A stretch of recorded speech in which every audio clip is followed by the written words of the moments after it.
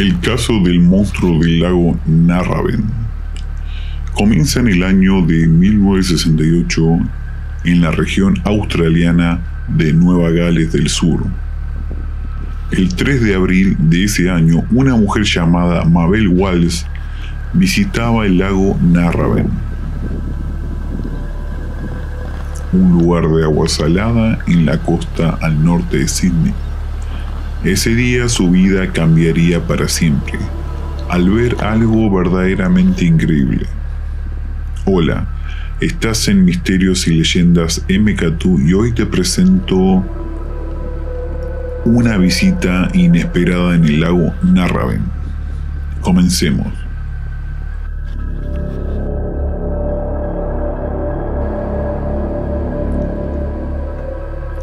El extraño avistamiento empieza cuando se topó con algo que jamás había visto. Esta mujer al parecer algo vio que la dejó muy asombrada. La señora Walls estaba conduciendo por un tramo de la autopista Wakehurst Parkway de manera paralela al lago, cuando de repente divisó algo enorme que emergía del agua salada. La mujer ve como un gran bulto sale del agua. Rápidamente se detuvo para observar más de cerca y su sorpresa fue mayúscula al ver a lo que ella describió como una figura humanoide. Esta figura se asemejaba a una especie de hombre elefante. De acuerdo con Waltz, el ser medía un poco más de un metro, Tenía piel áspera y gris, como la de un elefante, y piernas cortas, redondas y gruesas, mientras que sus extremidades superiores resultaban un poco más cortas. Walsh explicó que su cabeza tenía una forma similar a la de un oso hormiguero, con una trompa alargada y ojos muy pequeños. La criatura, al darse cuenta que lo estaban observando, salió del agua tambaleándose. Fue y se dirigió hacia la autopista con un andar algo similar a un hombre borracho. La mujer se convenció de que la criatura no era ningún animal de que hubiera visto antes, pero no pudo detenerse a investigar.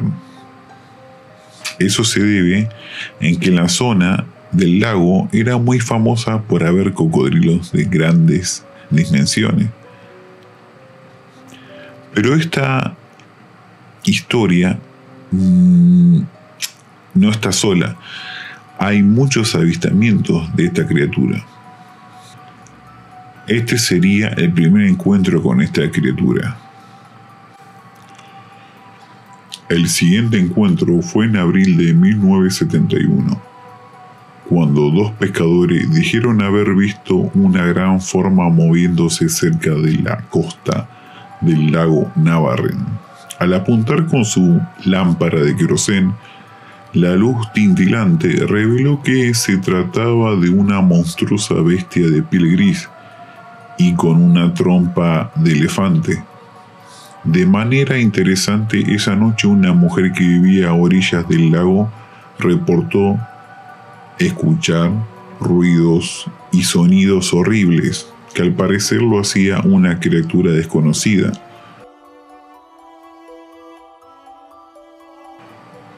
Y aunque no vio la criatura, dijo que llevaba algo de tiempo sufriendo experiencias similares.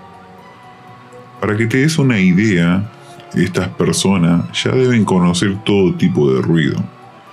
Y lo más interesante del caso es que según ellos desconocían ese ruido. Los diarios australianos generaron una breve paranoia que desencadenó un gran número de visitas en el lago Narraven para ver al monstruo y también el investigador ufólogo Bill Chalker visitó el lago a finales de la década de 1970 para investigar los avistamientos pasó varias noches acampando en la orilla para encontrar evidencias de la criatura, pero sin éxito alguno. En 1985, Chalker entrevistó a un granjero llamado Cecil Magan, quien le relató una rara experiencia en 1927. En esa ocasión, Magan y su vecino lograron ver unas extrañas luces en el cielo, pero no paraban de brillar. Brillaban mucho a su distancia. A la mañana siguiente, las vacas y su familia se veían asustadas y no querían salir de su corral. No fue hasta pasado unos días las vacas comenzaron a pastar de nuevo. Más tarde ese día las vacas volvieron corriendo muy asustadas en estampida a meterse a su corral. Al estar en el corral, Bacán empezó a contar las cabezas de ganado, pero se dio cuenta que faltaba una. Eso no lo sorprendió porque era común que las vacas escaparan a vagar por la carretera, así que el granjero salió montando en su caballo a buscarla. Al llegar a la zona de pastoreo, se encontró con algo muy diferente a una vaca. En su lugar, Macán avistó dos extraños humanoides con cabeza de elefante moviéndose entre los arbustos. Y al día siguiente, los padres en Bacán encontraron a tres de sus cerdos muertos. Así que, coincidencia, pues no lo creo. Estos cerdos tenían una extraña marca en el cuello. Según el granjero, esa noche fueron visitados por algo.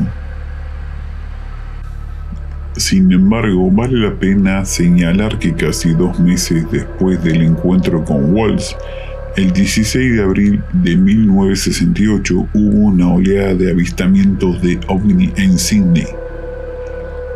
Estos objetos lentos con forma de estrella fueron vistos desde varios suburbios entre las 6 y 7 de la tarde. Después de ese avistamiento masivo, varios ciudadanos de Sydney afirmaron que un objeto de color naranja apareció repentinamente en los cielos sobre su bella ciudad el 20 de abril. A medida que este ovni descendía, su tonalidad se transformó de naranja a azul. Parece probable que los encuentros con ovni de 1927 a 1968 no estén relacionados con la bestia parecida a elefante. O sí, en lo particular creo que sí. Cosas más extrañas han demostrado ser ciertas. De cualquier manera, imaginar que una raza de elefantes espaciales humanoides estén de visita me hace un poco sonreír, pero probablemente pueda ser verdad. Nadie es dueño de la verdad. Algo sí vieron, y no es algo de acá.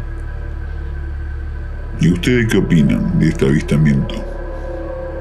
Desde ya le mando un gran saludo Misterios y Leyendas MKTU.